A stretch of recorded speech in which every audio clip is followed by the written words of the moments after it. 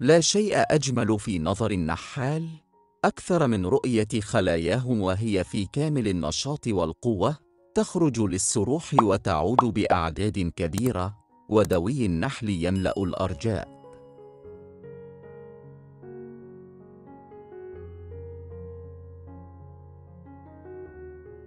فنشعر عندها بنشوة تأخذنا إلى عالم من الأحلام الوردية وفجأة نلمح طائرا أو سحلية تلتهم بشراهة نحلاتنا العزيزات.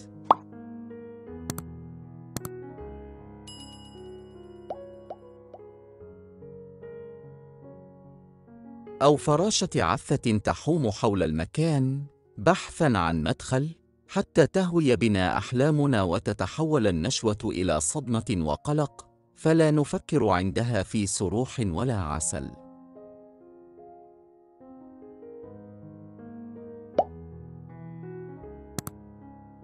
بل يصبح شغلنا الشاغل إيجاد طريقة لحماية خلايانا الثمينة من هؤلاء الغزاة ولكي يستطيع النحال المقاومة.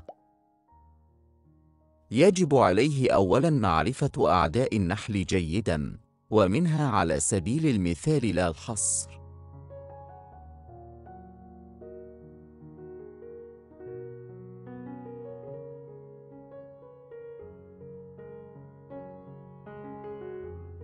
الوروار.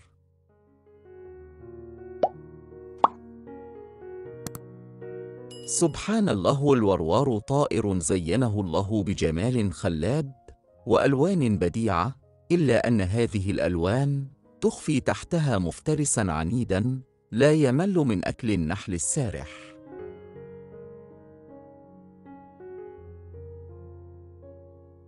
يمكن إبعاده عن طريق الأصوات العالية أو إمساكه بالشباك أو الأعيرة النارية.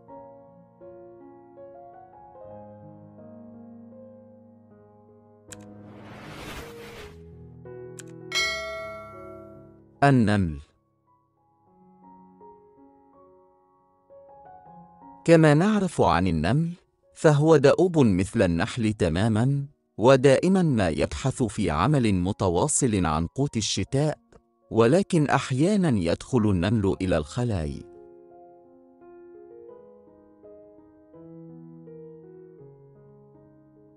ويملأ الصندوق والإطارات محاولا أخذ خبز النحل والعسل وهنا يجب على النحال الاهتمام بنظافة أرضية المنحل. ورش القرفة عند المداخل أو وضع أرجل حاملات الصناديق في زيوت السيارات حتى تعرقل تحرك النمل.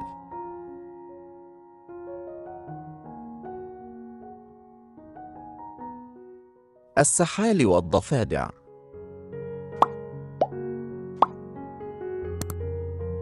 هم من آكل النحل ويلتهمون منه أعدادا كبيرة ويجب تضييق مداخل الخلايا للحد من خطورتهم.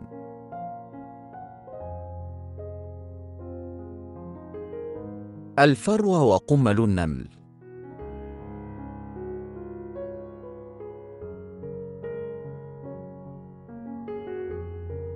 من منا لا يعرف هذا الكائن الصغير الذي يلتصق بظهر النحل وينهكه أو يدخل بداخل الحضنة؟ ويتغذى عليها حتى تتهاوى الخلية شيئا فشيئا.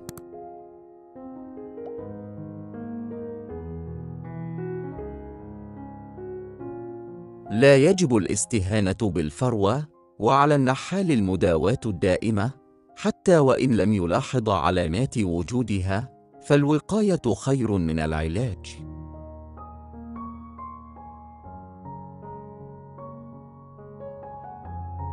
الخلايا القوية قادرة على التصدي لهذا الكائن ولكن مع الطرود الصغيرة الضعيفة يجب استعمال الأدوية الصناعية والطبيعية المتوفرة في الصيدليات.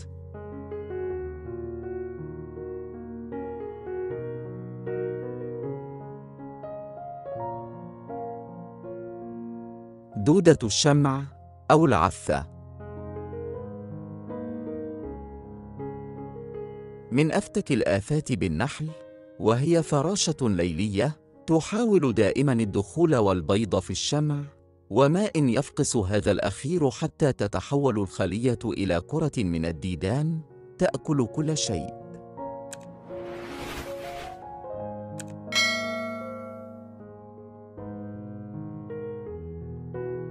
يمكن الوقاية من العفة بإحكام غلق كل المنافذ للصندوق والتخلص من الشمع المرمي في المنحل ومن شمع الإطارات القديمة وحرقها.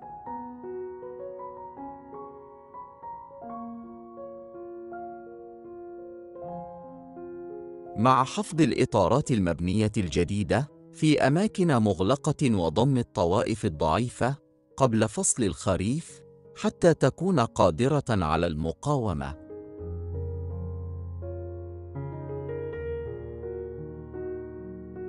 الدبابير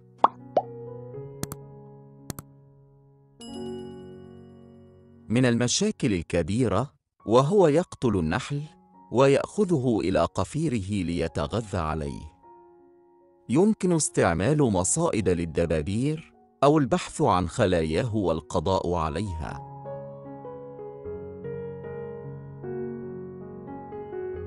خنفساء العسل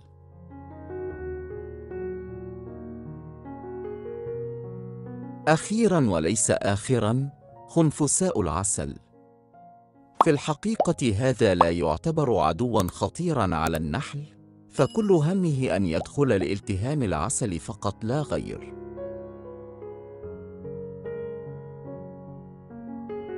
لكنه إذا ما شبع يحفر أنفاقا وسط الشمع ويفسده.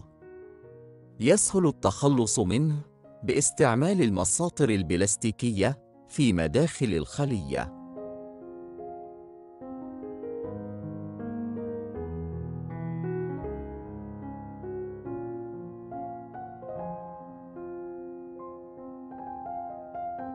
وصلنا أحبتي إلى نهاية الفيديو ونهاية الحلقة.